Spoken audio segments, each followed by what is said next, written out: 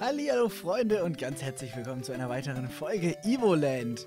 Ich würde ja wie standardmäßig immer sagen, was wir in der letzten Folge erreicht haben, aber wir haben ja in der letzten Folge alles von in acht Richtungen bewegen bis hin zu 256 Farben freigeschaltet. Daher wird es vermutlich ein bisschen viel Zeit brauchen. Ich würde ganz gerne gucken. Wir haben 800 Münzen. Das heißt, wir können uns die seltene Karte im Shop kaufen. Im Dorf. Bevor wir in die Höhle gehen, weil das... Doch, die, die hätte ich echt gern noch, bevor wir hier irgendwas weitermachen. Und dann gehen wir im Norden in die Höhle, wo ein böser Geist hausen soll. Uh, gruselig.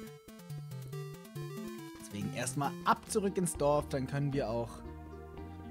Genau, Papunika können wir uns auch nochmal hinlegen. Ich weiß gar nicht. Ja, 54 TP. Vielleicht sollten wir uns nochmal hinlegen, dann können wir nämlich auch gleich speichern. Aber erst will ich die Karte. Gib mir die Karte! Eine seltene Karte. Die Karte Emuk. Emuks kennen wir ja auch schon. Phoenix Daune ist, glaube ich, um äh, gefallene Verbündete wieder zu beleben ich nehme mal... Hm. Ich schätze mal, dass wir Phoenix Down finden werden. In Schatzkisten. Von daher werde ich jetzt mir erstmal ein paar Tränke kaufen, werde mich kurz aufs Ohr hauen. Und dann gehen wir in die Höhle. Und schauen, was uns da erwartet. Möchtest du speichern, aber sicher. Und dann ab dafür. Einmal durchs ganze Dorf. Mit der nervigen Musik. Hey, ich finde die Musik nicht nervig. Ich mag die Musik.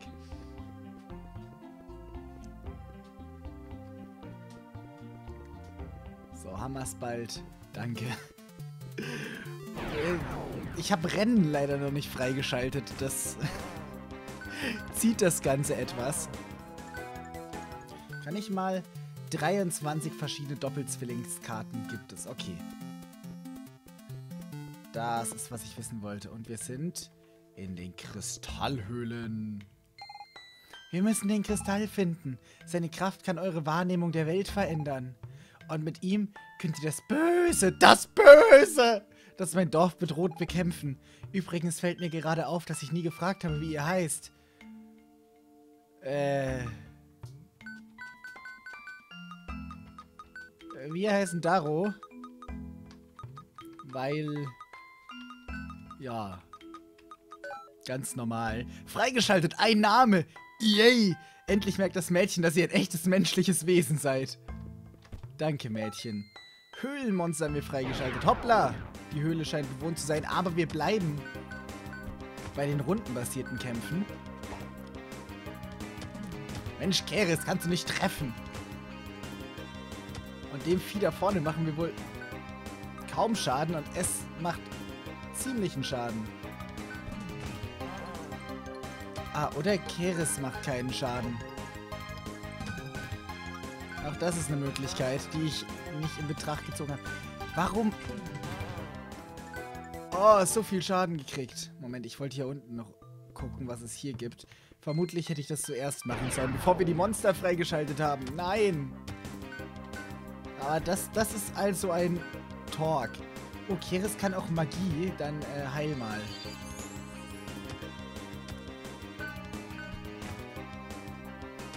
Es scheint ja... Da wir noch keine Mana freigeschaltet haben, scheint es ja ziemlich nützlich zu sein. Dass Keres uns hier einfach permanent hochheilen kann.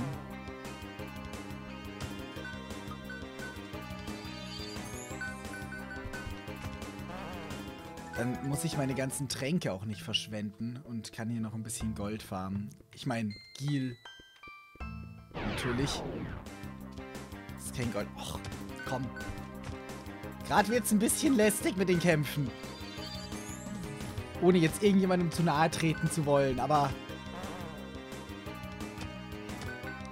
Ist ja nicht mehr so, dass wir Erfahrung dafür kriegen würden oder so. Das ist ja... Ja, gut 190 Gil, Glies, keine Ahnung. Wie heißt die Währung jetzt? Ich bin durcheinander, es werden so viele neue Worte genannt. Eine Cobra Zero. Echte Cobra Zero Zucker.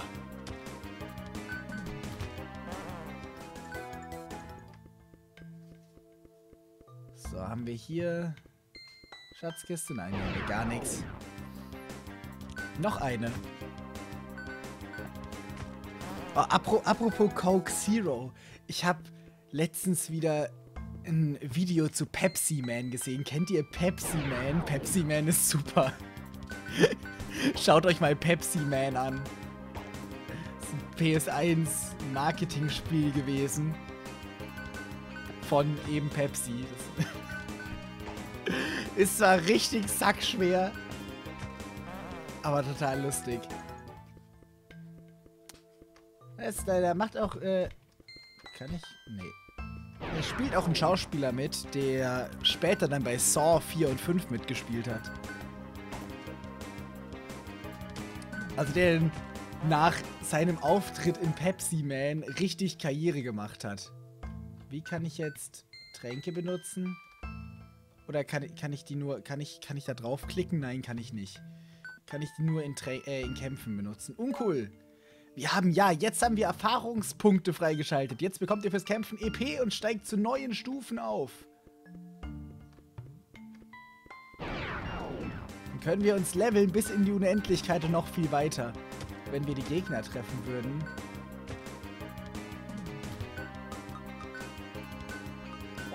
Na da, Keris Nimmerlein-Trank.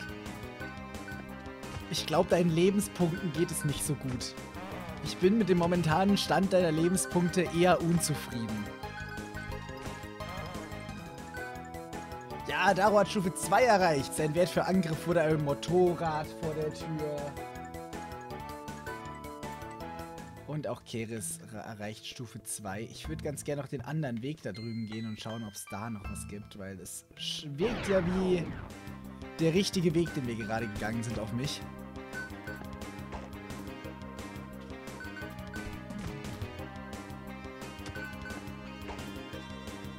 Warum trifft die denn nix? Hat, hat die irgendwie... Hier kommen wir nicht durch. Okay, gut, dass, dass wir das geklärt haben. Hat die irgendwie... Braucht die den magischen Kristall hier aus der Höhle, um sich eine Brille zu machen, oder was? Die trifft ja gar nichts. Am Schluss zaubert die ihren Heilzauber noch irgendwie auf den Gegner und heilt den oder so. Ich sehe es kommen, ich sag's euch. Okay, immerhin one-hitten wir die. Das ist gut. Hier haben wir die Schatzkiste, die ich gesehen habe. Zu der wir nicht durch konnten. Talk. Weiche Talk. Deine Mutter zieht Katapulte nach Mordor. Aber wir haben noch einen Stern gefunden. Das heißt, wir haben schon mal fünf. Das geht tatsächlich recht rasch. Ich bin überrascht.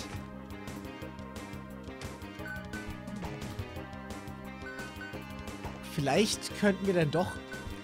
Na, ich schätze, ich werde wahrscheinlich irgendwo dann einen richtig gut versteckten Stern vergessen. Freigeschaltet Lebensquelle. Etwas frisches Wasser heilt vielleicht eure Wunden.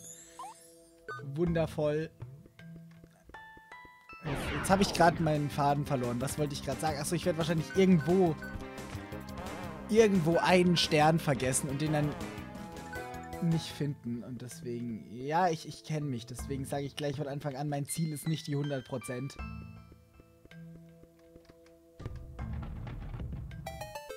Freigeschaltet, irgendwo ist irgendwas passiert. Okay, aber wo? Aber wo nur? Spiel, sag es mir. Ich möchte wie in jedem modernen Spiel eine cinematische Kamerafahrt haben, die mir zeigt, wo etwas passiert. Die Karte Skaven für Doppelzwilling. Talk. Geh mir aus dem Weg, Talk. Nicht, nicht zu verwechseln mit dem Toga. Sind komplett andere Spezies. Ach komm! Kann ich mir hier nicht wie bei Pokémon irgendwie Top-Schutz kaufen? So ein bisschen stören tun die Random Encounter hier schon. War nie ein Freund von Random Encounter, aber wir scheinen durch zu sein. Ihr habt den Wächter des Kristalls aufgeweckt. Oh, News! Oh, it's Kefkas Geist! Der hier scheint mächtig zu sein. Viele Jahrhunderte lang wacht er über den Kristall. Er scheint jedoch von einer bösen Macht verdorben worden zu sein. Vermutlich von derselben bösen Macht, die mein Heimatdorf angegriffen hat. Holen wir uns den Kristall. Wir brauchen seine Kraft, um zu kämpfen. Das ist ein guter Plan. Okay, dann bekämpfen wir Kefkas Geist. Freigeschaltet Boss-Animationen und schon sieht er viel gefährlicher aus. Sehr schön. Ich werde wahrscheinlich einfach mit Keres permanent heilen und mit mir halt angreifen. Oder ich heile einfach alle zwei Runden. Das müsste auch reichen. No! Phantomkonter! Er wurde transparent! Kefkas Geist setzt Transparentität ein! Nein, nein, nein, nein, nein, nein, nein, nein, nein, du heißt schön.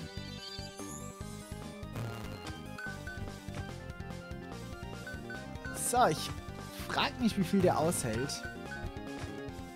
Er scheint ja voll die Special Endboss Moves zu haben. Mit seinem Phantom-Konter, da kommt er. Äh, ja, ich muss trotzdem angreifen. Ich habe keine Option irgendwie zu verteidigen oder so. Macht ja zum Glück auch nicht so viel Schaden. Kann Keres in einer Runde wieder gegenheilen. Schlitz! Und er ist besiegt. 400 Glies und 20 Erfahrungspunkte. Die Kraft des Kristalls wurde aktiviert.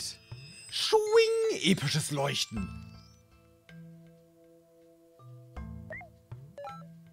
Freigeschaltet 3D-Modus. Ihr erhaltet eine komplette dritte Generation.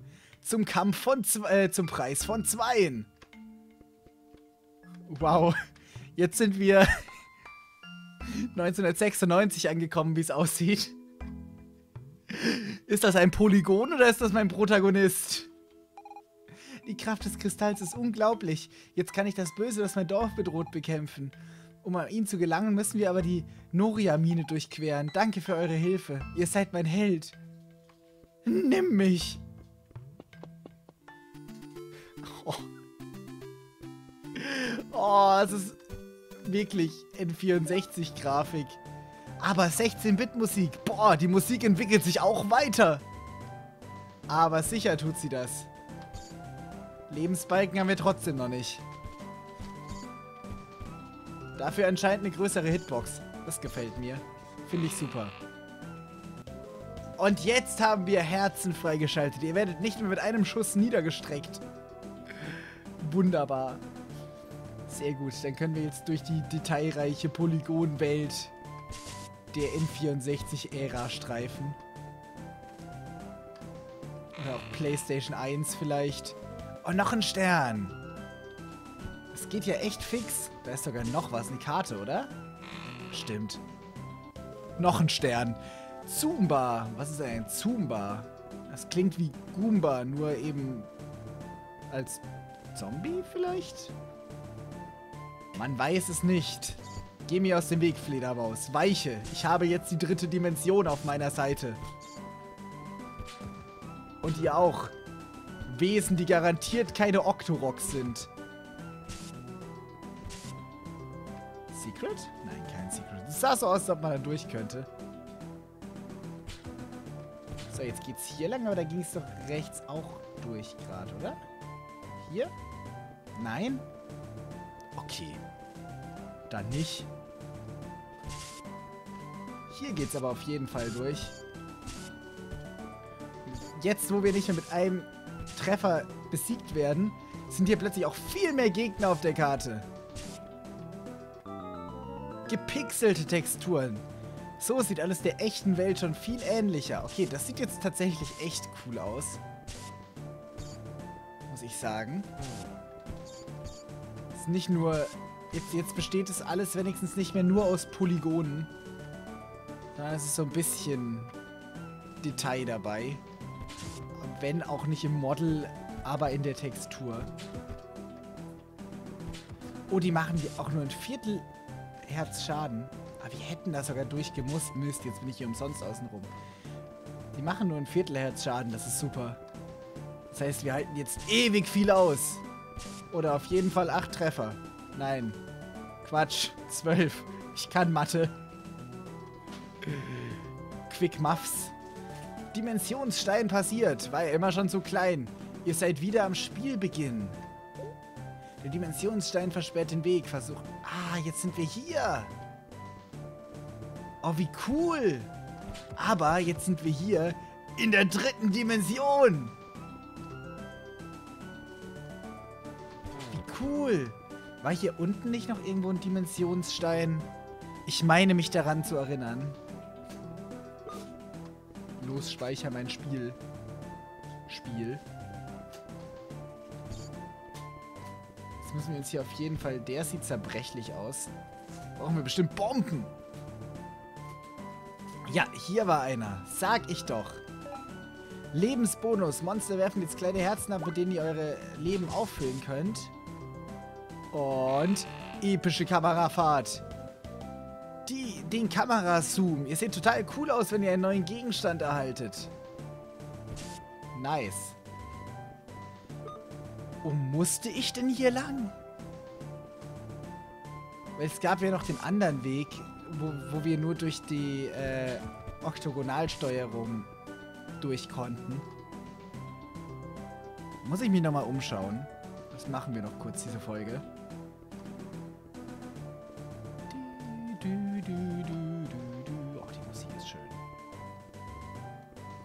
Ist ja auch nicht in einem Dorf, ne?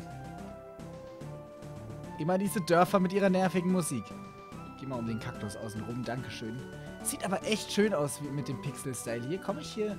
Ja, das meinte ich nämlich. Gibt es hier noch etwas für uns? Nope. Hier blockt uns das Spiel konsequent. Sagt so, nö, you shall not pass.